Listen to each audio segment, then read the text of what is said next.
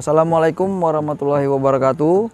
Uh, bertepatan pada sore ini saya ingin mereview unit saya yang kebetulan pada teman-teman pada nanyakin atau minta supaya direview.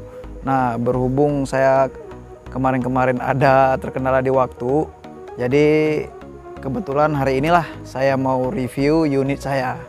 Oke kita langsung aja ke uh, unit saya unit saya